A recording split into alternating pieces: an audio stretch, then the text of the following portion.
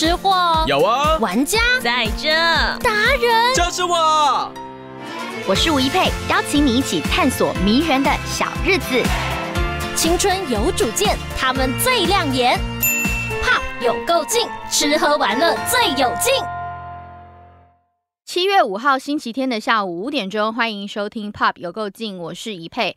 好的，现在已经到了炎热的七月的夏日，其实哦，台湾的高温一直在每一年呢不断的在往上走当中。那其实哦，台湾因为处于比较高温，然后又湿热的环境，今天我们在节目内容当中真的要好好的提醒大家，不要以为说，哎，现在是疫情已经比较趋缓了嘛，然后大家都出去玩了，然后呢，像我最近常去海边或或是山上都看到哇，人潮又一波一波的来，因为我相信大家已经闷太久。但是呢，因为台湾在夏天真心真心的非常热，希望大家到户外去玩的时候，无论你是要穿比基尼，或是你要到山上去爬山的话，我觉得有一件事很重要，就是要注意温度之外呢，其实要多补充水分。我们真的不是说今天节目要吓唬大家。我看了一份资料，我吓到之后，我就想说，哎，今天应该请医师来跟我们聊一聊，到底呢中暑这件事情。比如说这两个字，大家可能在夏天都很常听到，或者是热衰竭。但是这两个名词到底怎么分辨？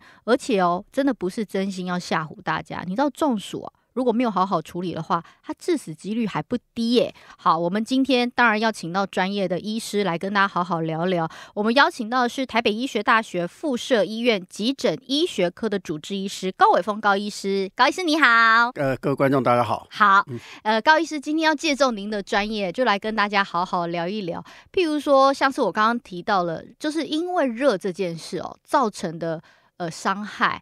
呃，您因为您一直在急诊室服务嘛，那相信您也很多的经验。譬如说，现在是在一高医师是不是常常在马拉松有负责支援之类？嗯嗯，都在做些什么事？就是负责整体的这样的医疗的这个呃规划跟处置。嗯，那通常哦，在夏天的时候，民众会真的会因为。譬如说中暑或是热衰竭，进急诊室比例很高吗？是的，之前我们的研究啊，在医院里面，其实五月到九月这段期间，急诊的这个这个体温超过四十度的这样的病人，就是明显的增加，是比其他月份就明显。从五月开始，是六七月的时候算是蛮高峰吧？对，哦，可是大家是因为什么原因才造成体温过高？啊，简单来说啊，就是我们身体我们。一个有产热的这个机能，对，再来呢，我们环境啊，就是我们产热大于散热，热没有办法散散失的话，然后产生伤害，就会产生所谓的热伤害。哦，是，哎，这医师你这样讲，我才觉得哦有学到哎，所以我们的身体的正常的机能是。产热功能比较好，散热功能比较差，是这样子吗？我们正常身体就会产生热量，这样才能对抗寒冷。对。但是呢，我们身体也有一些散热的功能。对。啊，在热的环境中要把它散掉，才不会造成伤害。所以，我们身体散热功能应该就是在皮肤表层，是这样吗？我们皮肤表层这是其中之一啊。比如说，我们让血管扩张。啊，让这个体温很容易散到那个环境当中。是。那当然最简单、最重要的一个散热功能，我们就是如果遇到刚刚你有提到，我们如果天气很很热的时候，嗯，我们会躲到一个阴凉的地方。对。啊，这但是有时候工作没办法。对呀，其实很多人哦，我真的觉得，就比如说劳动的朋友，有些真的是工作没办法。有时候我看到中午大家路边在修路，我都觉得天哪，夏天的修路。那个政府都已经亮红灯了，然后你们还在修路，就觉得好辛苦。可是我相信台湾有这样的劳动朋友，其实还算蛮多，没办法避免，无可避免的，因为是要工作养家活口，怎么办呢？那当然，我们还是有一些这个防止。一般我们简单说啊，大概有四种我们的散热功能。嗯，那我们整个在预防跟治疗都是用这主要的这四种散热功能。嗯，第一个叫做辐射。辐射。就是我们的体温呐，嗯，跟外界的我们外界的温度比较低，对，我们体温，比如我们体温三十七度，外界的温度是二十五度，我们那个热就从身体传到这个我们的环境当中。哦，那这个一般我们在一般的状况下，大概呃大概六成以上都是有这样的功能。来来传输，了解，但是辐射对不对？对，叫辐射。但是当如果这个气温呢，如果高到三十二度以上，对，这个辐射的功能就就不好了。嗯，那甚至你刚刚有提到，假定这个外面的气温三十八度，那实际上这个辐射并不，我们的身体的完全没有办法辐射到周围。对，我们反而是由周围传到我们身体，就是周围来影响我们。对对，了解。那第二个呢，叫非常重要的，叫做蒸发。蒸发。所以我们会在热天的时候，我们会排汗。嗯。好，那而且这个这个在热天很常会跟朋友说。我今天说中午出去买个便当啊，我要人间蒸发。对，但而这种这个蒸发这个作用呢，实际上是非常非常重要的。嗯，我们知道大概我们的水啊，从一克的水从零到一百度才一百卡。嗯，对。但是呢，一克的水从液态变气态，它是带走我们之前学过大概五百四十卡的这个能量。嗯，就知道化学有多烂。那一般呢，如果一只要蒸发一点七克的我们的汗水，是就可以带走一千大卡的这个能量，所以蒸发是一个非常非常有效的。哎，可是您这样讲的话，那意思就是说，我们如果在跑步流汗。是会变瘦，是这个原理吗？呃，当然跑步那个跑步流汗要要变瘦的话，也还有除了这个还有其他的。不是啊，因为医师您刚刚说，如果我是蒸发了一点七克的汗水，我就会身体可以代谢多几卡？一千一千卡，那很多哎。对，所以是一个非常有效的一个散热方式。了解。可是如果我们在湿度很高的时候，台湾大家觉得很闷，很闷的时候，就湿度很高的时候。或者要快要下雨的时候，那时候呃湿度高，蒸发的效果就几乎就不好了。嗯，我们汗水不容易蒸发。嗯嗯嗯。所以呢，事实上我们曾经在呃，我们好几好几次台北马拉松啊，以台北马拉松来讲，十二月办台北马拉松，有很多人中暑。其中一个就湿度，就是呃湿度就是其中一个重要。月耶。对。所以中暑不是只有在夏天夏天哦。对我们像一包括去年的这个台北马拉松，就好多人中暑。哦，是哦。对。那其他温度也不算很高，才二十几度，对气温。因为我想说，二十几度来跑步应该算是很很平易近人的那种温度。对，但是我们一般我们有一个叫热指数，嗯，就是我们一般的温度加上湿度，嗯，这个所以湿度影响很大。如果在湿度百分之百的状况下，嗯，原来气温如果三十六度，嗯，就会相当于六十三度的效果。哎呦，哦，这也太夸张了对对，所以它湿度是影响很大的。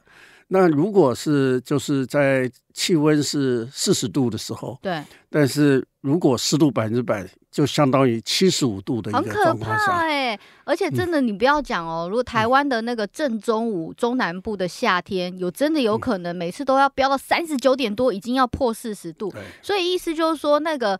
呃，热的感觉会到是，你刚刚是说，就一般我们体感温度，就第一个是温度嘛，对，第二个就是湿度，第三个其实还有风速。对，哦，就是当然我们知道，就如果是今天风很大，大概就比较不容易中暑。嗯嗯对，因为我们的散热那个很好。是。好，你看我们电台有没有在台北的盆地里面，台正中心，好不好？就是热到爆的，然后呢，湿度又散不去，好不好？大家都闷在里面，所以湿度是高的。然后再来，如果没有风，其实这个这个风险就更高。如果就他去。跑马拉松就产生这个运动，那这个这个风险就会更高。了解。一般我们这个体感温度就主要是包括这三个部分。了解。好，刚刚医师有讲到说有四个很重要的这个功能指数，大家要参考。第一个就是辐射，辐射，辐射。然后第二个是蒸发，蒸发。那我很好奇，第三个跟第四个是什么？我们先卖一下关子，因为我们今天整集哦都是要提醒大家，教大家一些医学的常识，以及说，哎，你在外面真的如果遇到了中暑的。情况你该怎么处置？我们广告之后再来请教。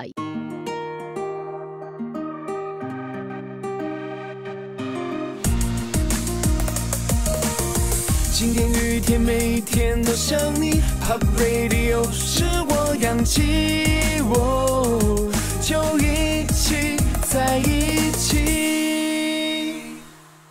青春有主见，他们最亮眼。有够劲，吃喝玩乐最有劲。七月五号星期天的下午五点钟，欢迎再度回到 Pop 有够劲，我是怡佩。好，今天在我们节目现场呢，就要聊一聊跟夏天要注意的热，譬如说有没有呃不因为不注意啊，然后呢热衰竭啊，或者是中暑等等。我们今天邀请到是北医的急诊室主治医师高伟峰高医师在我们现场。好，医师，我们刚刚提到了两个嘛，一个是辐射。然后呢，另外一个就是蒸发，那接下来两个是什么？一个是对流，我们刚刚说风。对啊，就是对流，它跟风速的这个那个平方成正比，嗯啊，所以风速如果加强的话，散热的效果就更好。这个我想这大家都广为所知的，嗯嗯嗯啊，所以那如果在一个没有风的一个状况下，实际上中暑的可能性就比较大了，嗯啊，那再来一个就是我们一般说传导。传导就是我们，比如说我们摸到一个比较冷的东西，我们的热就传到那个人的地方。一般是这四个，当然还有一小部分，比如说呼吸，呼吸啊，那个在狗的身上大概重要性比较比较重要，在人的身上，舌头部分嘛，呃，包括 因为狗狗就是 他们是靠着舌头在散热嘛，对，在这个又是他们的一个呼吸动作，包括气体的这个。这个传导是是是，我们一般人主要是前面那四种了解影响比较大。那这个这四种呢，其实除了这个大家了解它的这个原因之外。其实，在我们在治疗也是这几个是非常重要的一个部分。意思说，治疗也是要依据这四种来对症下药来治疗。对，主要是这四种。哦，当然还有其他的。第一个就要先躲到阴那个阴凉的地方。是。那如果 说根据在临床上的假设，如果真的有人是热伤害了，根据这四种会怎么去处置？好。我们第一个呢，假定因为它的辐射嘛，嗯，如果是在热的环境，我们就到这个阴凉的地方，了解，啊，它就这个辐射就会比较少，嗯，啊，那第二个呢，就是蒸发，我们再会在身上洒水，嗯，在医院里面就会给病人洒水，身上洒水，嗯，然后呢吹电扇，嗯嗯，啊，这样子呢会加速它的这个蒸发的效果，了解。当然吹电扇其实也就第也是第三个所谓的对流，嗯，啊。对流，因为风速增加的话，它对流的效果也好。是。那再来的话，就是我们说水的对流的效果，其实呃比那个空气也更好。嗯。所以呢，像也有所谓的这个泡冷水这样的方式来治疗。嗯嗯。哦。那在正在医学研究里面，其实泡冷水比这个我们说的山风洒水，山风洒来的有效，更有效。哦。啊。在在泡冷水要怎么泡？泡在泡脚就好吗？还是头头露出来？就是身体放进去 身体放到身体，像泡澡一样泡冷水。对，一般建议像马拉松终点站了，最好放一个那个小孩子那个玩的那种那种塑胶的那游泳圈的戏水池对对，戏水。哎，你说的对。哎，各大单位有没有听到？我们现在解禁了嘛，对不对？然后呢，呃，大家现在什么有一些活动都可以开始办了。搞不好今年夏天真的马拉松来的时候，有没有听到医师的建议说，真的是要放一个那个桶子让大家泡一泡？对，那个那种细水池，戏水池，那就是真正那个。有中暑的就都就放进去，头露出来，其实可能很快就好了。所以那是最快的方式。呃，目前那个降温的效果是最，那目前是我们在医学上这是最好的方式。了解，好，所以就是有这几种处置的方式。可是呢，其实。绝大多数的民众可能中暑这两个字跟热衰竭都很常听到，可是听说这两个名词是代表着不同的现象，是不是？是。如果根据这个美国疾病管理局或者是美国这个野外医学委员会，嗯，他们目前的这个定义，所谓中暑就是中心体温四十度以上，然后有意识的改变或神志改变，比如说意识的改变是就是神志就人不清楚了。哦，有点神志不清，神志不清，然后或者有抽搐，哦，抽那个全身的抽搐啊，不是局部的抽筋，是全身性的那个，通常那种抽搐也会造成神志的人不清楚了，是，嗯，是啊，通常就简单定义就这两个。那如果是热衰竭，通常人是清醒的，哦，那他的常见的症状像头晕、头晕、头痛、嗯，恶心、呕吐、虚弱。嗯，哦，这些的这种现象就是所谓的就是热衰竭。那它的温度通常是在三十七到四十度之间，也其实也是高温啊，相对比较低一点。嗯嗯，通常最严重的，我们就是认为中暑，它已经到温度非常高，神志不清，那就有生命危险了。了解。嗯，哎，医师您这样讲，我突然想到有一次，反正就是呢，早上我们有一个家庭聚会，然后我那天调闹钟就调错时间，我就很赶着起来之后呢，我妈就在急抠我嘛，然后我就来不及了，所以我就。没有吃早餐的情况之下，我就出门，然后是，我记得是六七月的大热天，真的很热。然后我们那个家族聚会是在一个密闭空间里，就我就进去之后就跟大家讲话，然后讲到一半，我就突然一阵的，就是觉得头很晕。我就是跟他讲说我头很晕，然后我呼吸困难，然后我妈以为说我不想跟亲戚聊天，下一秒钟我就昏倒，我就发现我眼前一片黑，然后就整个昏倒。然后后来大家就把我。移到旁边去，然后帮让我吹风啊。如果我是这样子的现象，会比较接近是热衰竭还是中暑？呃，如果是这样，有时候我们比如说我们常见的，还有一种叫热昏厥。哦，那我应该是热昏厥。热昏厥，热昏厥最常见的就是，比如说很多那个学生在大太阳下朝会，或者是有时候这个这些跑者在那个他们开幕式在那上面长官在讲话。哎，这真的很 长。你知道，如果这个东西，因为现在空拍机很流行嘛，如果这是校长，这是真的在讲话的时候，大家在大太阳下晒，你就会看到有些人这样噔噔噔噔噔，就是感觉很像骨牌效应，大家就倒下来，这是热昏厥。这一般这个叫热昏厥。那热昏厥到主要的原因就是因为。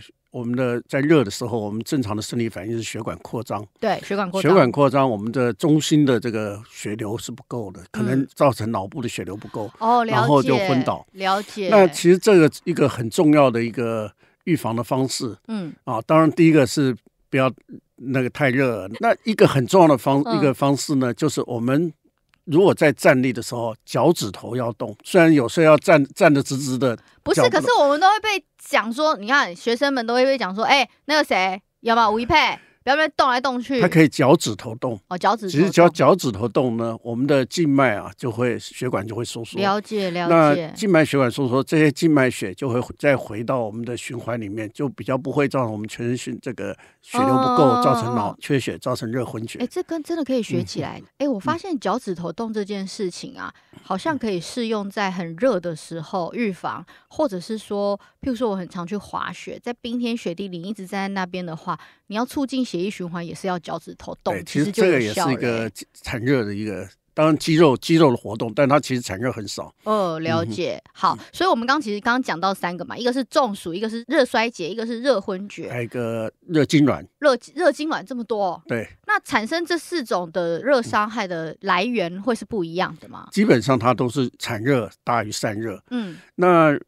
基本上，另外还有一个，它就是跟盐分的相对不够有关系。嗯，啊，尤其是热痉挛跟热衰竭，当然中暑也是盐分相对不够。是，就是除了水分不够，它盐分也不够。嗯，啊，所以目前建议呢，这几个我们在治疗的时候，就是要补充等张或高张溶液。嗯，啊，什么叫做什么对？什么叫等张跟高张嘞？就是我们一般我们生理食盐水，就是每一公升啊有一百五十四毫摩尔的。盐分是，那以前大家常常想说，喝运动饮料到底够不够？对对对，到底其实如果我们短期打个篮球，打个二三十分钟，可能这样就够了。嗯，那如果要目前建议，如果要跑半程马拉松以上，嗯嗯，就是二十一公里以上的，嗯，目前这样子参与这样的活动，都建议要额外的补充盐分，光运动饮料是不够的。哦，是哦。对，那运动饮料到底有多少呢？我们知道我们的这个生理食盐水所谓的等张是一百五十毫摩尔，对，每一公升是。那我们白开水是零嘛，接近零。是。那如果是我们的这个运动饮料，相当于大大概市面上买的大部分大概就是二十左右。如果不高哎。对一百五十来讲，其实零跟二十是差不多的。哦，对啊。对。所以国外的研究呢，就是如果参加比较长距离或长时间的这些运动活动的话，一定要额外补充这盐分，不然的话会造成严重的这个低血钠。了解了，低血钠是不是会有造成？假设如果真的很严重，会有生命危险。有对，也会意识丧失。假设如果我真的在进行很长距离的运动，对，但我只喝水，或是我只喝运动饮料，其实是有不不行的，是不行的。对，这样。这样是不够的，是不够的。对，盐分不够，就容易造成抽筋，严重一点就会叫热衰竭，甚至是那个中暑。嗯，所以一般在运动的一个状况下，如果造成神志不清，嗯嗯，就是意识改变了。对，那通常最常见两个原因，如果体温很高，就是中暑；中暑。如果体温接近正常，最常见原因可能就是低血钠。嗯，所以低血钠的状况只会发生在运动的时候嘛？一般人也有可能。也有可能就是水过水过多了，水过多就是钠相对不够了。了解，那我们要怎么去注意呢？譬如说，我们要怎么正确的？哎，这听众朋友，这件事真的很重要，因为不要以为说我们夏天啊，哦，台湾人应该很会抵抗热了吧？可是其实，在夏天的时候，无论是中暑、热衰竭啊，因为热伤害而譬如说。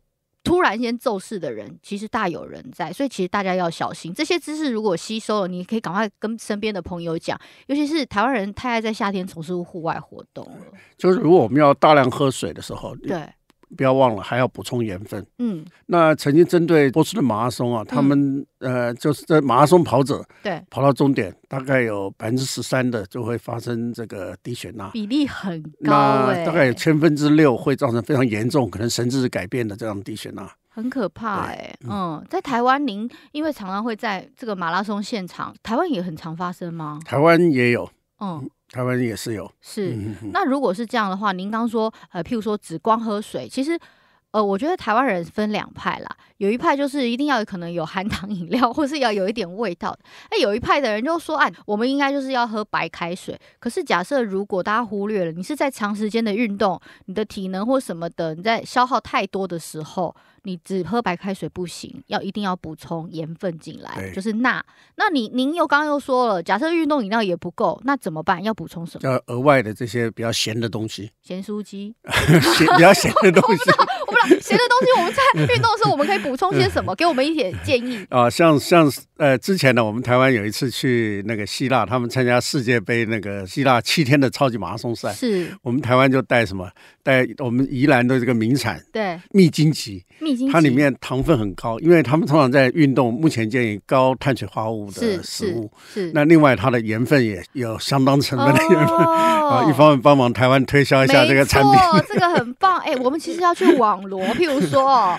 有没有是台湾各地各个乡镇县市，我们产出来的有没有高碳水化合物？要有一点钠，然后呢，让跑者又可以随时补充，还可以推广台湾的，哎，这多好！所以如果说你在跑步的过程当中，户外运动的过程当中，补充一点盐分的东西是可以的。饼干呢？咸的饼干呢？对，目前建议要要相，就看个人喜喜好的这些食物里面，所以都可以稍微比较咸一点。了解了解。假设如果说台湾人其实很爱爬山，尤其是现在有没有？前阵子在防疫，大家说要保持社交距离，很多人都是往山上跑啊，或干嘛的。可是我发现。很多人爬山会以为说啊，台北市近郊就阳明山走一走，七星山那走一走应该也还好，可是就忘了要带补充的水分，补充的水分还有补充的一些粮食，盐分也很重要。对，像我们呃，因为我之前也常常去玉山了，嗯，像哇，您的那个 level 又比较高一些，高蛮多的。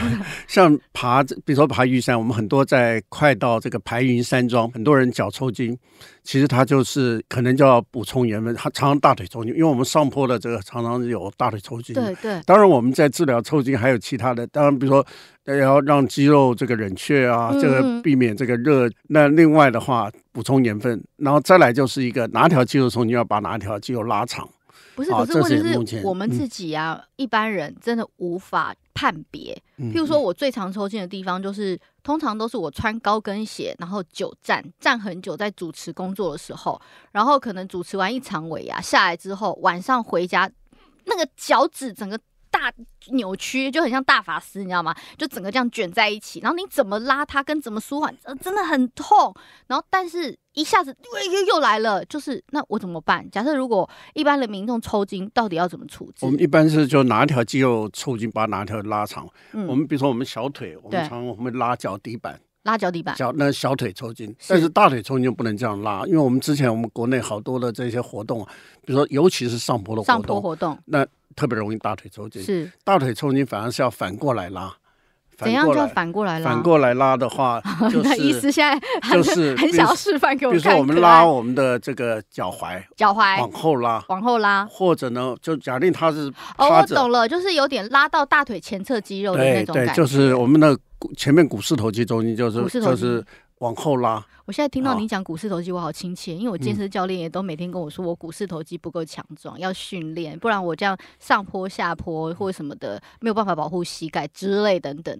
所以就是股四头肌，如果有健身的朋友，一定我们知道在讲什么。那如果没有健身的朋友，没关系，就是大腿前侧那一条，呃，就等于算是把小腿有点往里面折，往后面，往后面折，然后你会觉得前面的那个脚跟靠近我们的臀部，对，然后这样这这就前面是紧紧的那种，就是有拉。这样就拉到前面的这骨头肉肌。所以其实我们以后要去爬山，我们都要找医师一起去啦，对没有？找高医师一起去，就绝对不会有这样的状况，因为他毕竟是急诊室的主治医师，他应该很知道怎么怎么解决。所以，我们在这一段的一个小小的结论就是说，假设如果大家在运动的过程当中，呃，当然要多补充水分、补充钠之外，呃，但是如果是抽筋的话，我们其实就是适时的补充钠。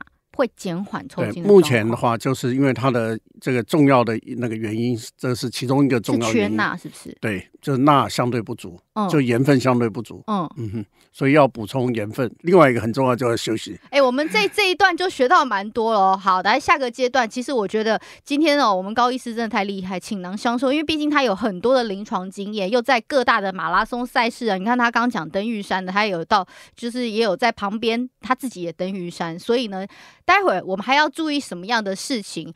我们广告之后再来。晴天雨天，每天都想你。Pop Radio 是我氧气，就一起在一起。青春有主见，他们最亮眼。Pop 有够劲，吃喝玩乐最有劲。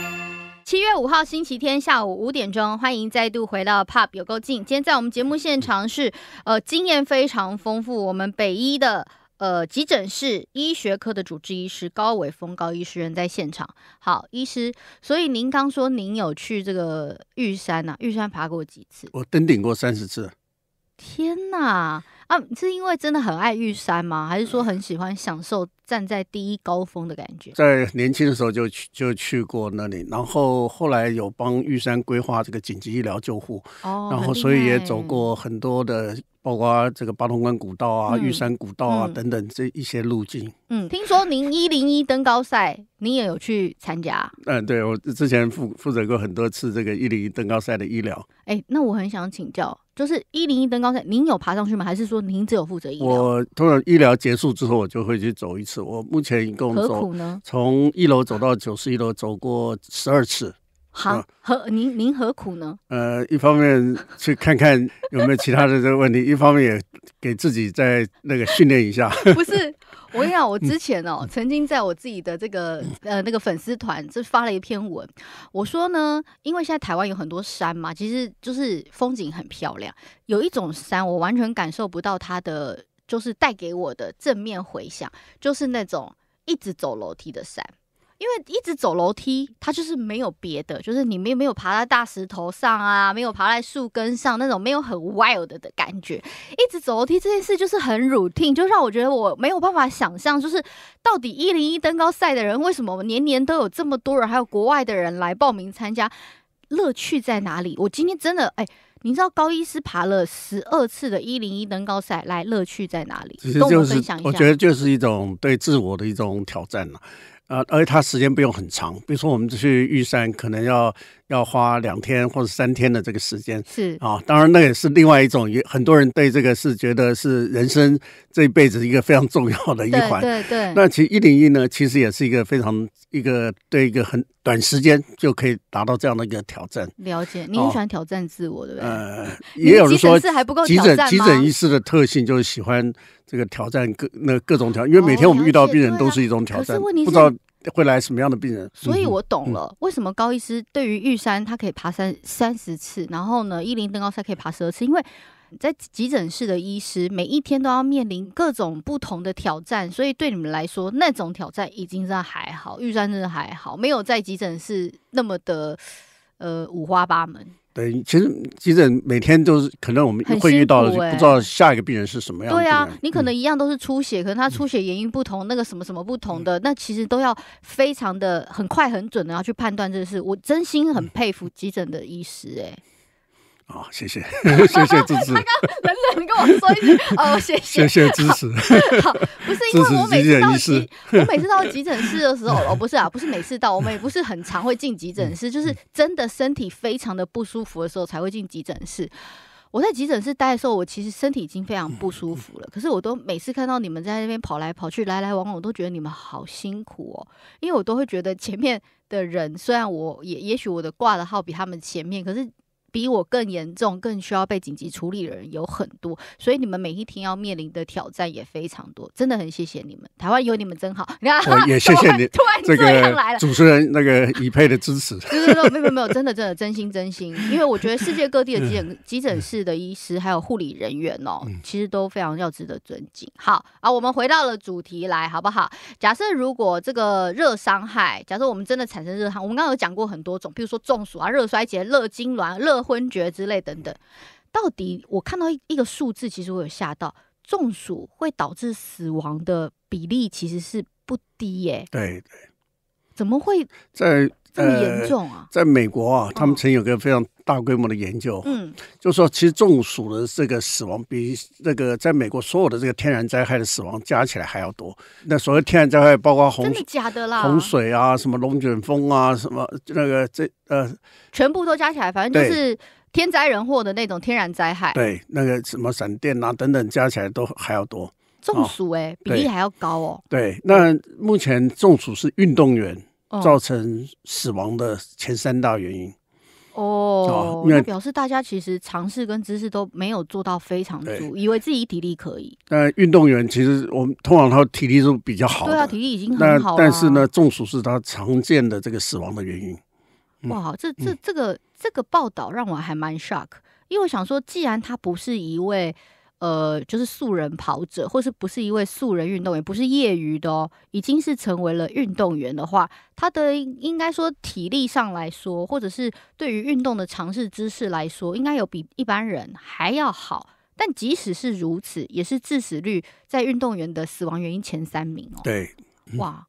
它仅次于第一个，当然我们第一多的当然就是一个外伤了，外伤就是头部外伤、颈部外伤。了解。那第二个就是心脏病，是因为很多人其实他不知道他自己有心脏病。嗯。在美国的报告，二岁以上百分之二十有心脏病。那心脏病第一个症状就是心脏停止，第三个就是中暑。嗯。哦，所以中暑在运动员造成死亡是一个常见的原因。嗯嗯。哦，那台湾其实。也有很多的这些，比如说我们跑马拉松的，其实基本上他都是体能很好的嗯这些选手。呃，去年十二月那个台北马拉松哦，其实就几十个这个中暑的，还不是几个而已。了解，嗯，哎，那如果说一一般中暑啦，像如果说已经您有在现场的话，一定会帮他就是做医疗的一些处置啊，然后比如说要散热啊，在淋水啊什么之类等等。但如果一般民众的一些观念，我不知道，我今天刚好跟医师来提出来，让医师来告诉我们说，这到底可不可行？很多人都会说，你可能中暑之后，一般坊间都会说啊，你没有食欲，可能会觉得想吐或什么没有怎样的，然后一段时间不自己不知道，觉得身体不舒服。很多人都说，那不然你就来刮痧好了。哎，在您的观点来看，这个刮痧是有办法帮助缓解吗？那当刮痧它呃。不是最重要，当然它也有一点点功能，嗯，那它不是最重要的那个治疗的这个功能，它它一点的功能就是它可以让我们末梢的血管扩张，是是，有一点散热功能，了解。但是其实最重要的啊，还是要快速降温，嗯，好，那目前对于这个中暑，其实是先降温再送医，其实先。降温其实更重要。嗯，那刚降温最重要，当然我们说最简单、最有效的是泡在水里面，泡在水就头露出来。嗯，那但是实际上有时候很多地方并没有办法执行到。那再来就是山风洒水。嗯，啊，就是把身上洒湿。然后用各种的，比如用扇子啊，用纸啊，用板子啊，嗯，帮他那个扇。那如果有那电风扇这一类的那个风，那当然是更好。嗯，那如果真一旦上车，人气就要开到最强。假定在救护车里面，通常就是人气要开到最强，风要开到最大。是啊，因为蒸发扇风洒水，这是一个还是一个。有效的一个那个治疗方式。了解，其实台湾民众哦，我身边的有蛮多朋友，夏天会常常出现一种状况，譬如说，就是一直觉得神神，然后有点没食欲，然后又一直觉得有一点想吐之类等等的。因为这种状况通常会发生在，譬如说，我们早上去从事了一个户外的活动，也有撑伞啊，啊，也有擦防晒什么之类等等，可是。就是也没有真的曝晒到太阳下面太久，可是就会出现这样的状况。如果是您，您会怎么来？这个可能是，其实可能还没到中暑，它可能是热衰竭的这个哦，热衰竭的症状。对，那刚刚提到，其实我们说运动员他可能会中暑，其实非运动员其实中暑也是很常见的。是哦。那比如说我之前有一个印象最深刻的，因为之前我在台北农总，嗯，那个早期我在台北农总急诊，嗯，那我们那时候印印象最深刻有一个住在顶楼，他的太太呢实际上是非常怕怕人的，哦，那他是非常怕热的，是。啊，我们顶楼为什么会比较热，就是温室效应，就像我们在夏天，我们汽车放在户外，嗯，你放大概几十分钟。汽车里面就就可以到五六十度，里面是烤箱，就可以到五六十度。对，那顶楼的话也是一样。嗯，那后来他跟他太太妥协，就是不开冷气，不开电扇，窗户也全部关起来。啊，所以呢，里面呢，他就非常热。那他就大概中午大概十二点半一点，很可怕哎，就到医院大概四十一点八度，神志不清。哇，那经过扇风洒水这样子把它降温之后，其实后来就醒了。嗯，对，所以就是治疗。这一个预防，其实预防的话，就是可能要要吹风啊，要洒水啊，好。嗯。那另外，我们多补充水分，这个也是可以预防的这个效果。了解。那如果夏天呢，我们如果都不要去户外，我们在室内有没有办法？就是是不是在室内？假设如果没有处置好，也有可能，也许热衰竭会中暑。为什么？哪里做错了？假定没有没有吹风，然后的没有让它对流，对不对？对，风风那个没有风，它的环境温度还是很高的。嗯。当然，如果在冷气房。应该中暑机会就很小了。哦，对啊，像我们看我们现在在那个什么播音室里面，多这种温度多舒服啊！但是，除非有一些药物，其实也有影响这个中暑，尤其是一一些影响排汗的药物。嗯，哪些影响排汗的药物？我们最常见的就是一些感冒的鼻塞药、抗组织胺，那个就会影响排汗。因为我们知道，在热天的时候，排汗是一个非常重要。嗯嗯嗯。啊。那再来有些肠胃炎，我们用一些抑制肠子蠕动的这个药物，是这个也会影响。嗯，好。那另外还有一类的，就是会产热的，比如说，那就是比如说毒品、安非他命、摇头丸这些，它就会产热，也会造成温度很高的，嗯，就是产热的过度增增加。了解，嗯，那如果说啦，很很多上班族在办公室很舒服嘛，吹吹冷气，可是中午去外面非常的热，你看像七月份外面动不动就三七、三十八，体感温度又这么高。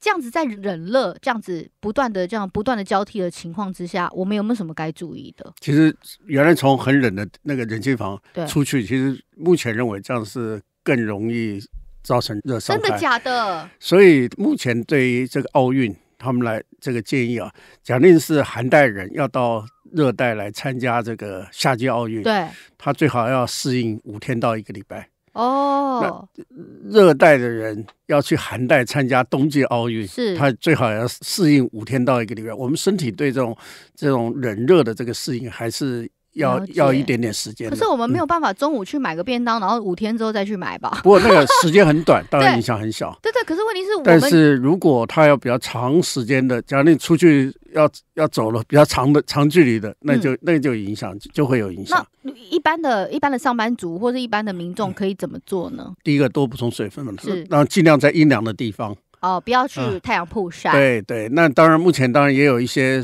伞啊或者什么，它可以就是防止，比如说戴帽子。了解。啊，它可以防止这个头顶直接接触的这个紫外线日阳光之类等等，这样子就减少这个热的这个曝晒。了解。啊，那如果说我们在外面已经流了很多汗，哎，其实我讲的这些状况都是你们平常真的会遇到，在外面流了非常多汗，然后一进室内，譬如说有冷气房，啊，冷气给它开到最强。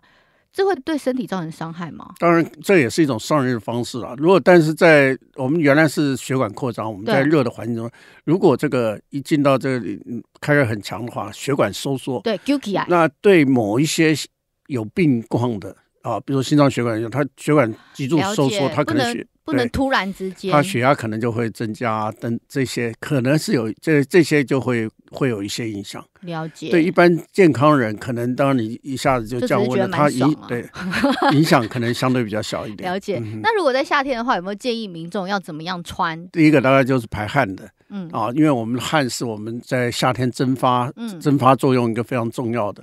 再来就是相对比较淡色的。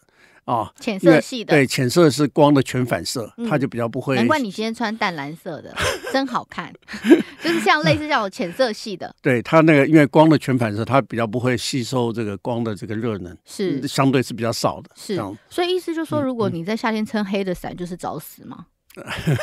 没有啦，因为有一些黑的伞，然后里面有涂一层，知道吗？那种防晒的那种成分的，那也也不至于，因为它毕竟它还是有那避阳光的作用。当然，它对这个热的吸收是相对是比较强一点。所以，如果可以选择的话，是选择比较浅色系会比较好的。了解，它又可以那个避到这个阳光的，是是是。然后呢，还有没有什么其他要注意的？然后就是另外就是补充水分，嗯，跟盐分，嗯，啊，因为这个水分多补充，它就比较不容易发生这个这些相对热急症。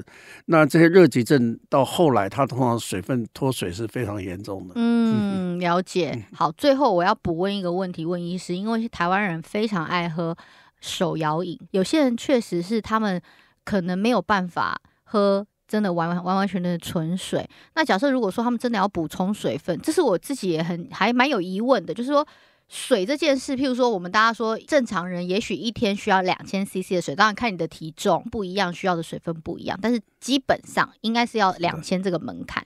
但如果有些人真心不喜欢水的味道，我喝茶或者是喝含糖饮料算吗？这也是也是有帮助的。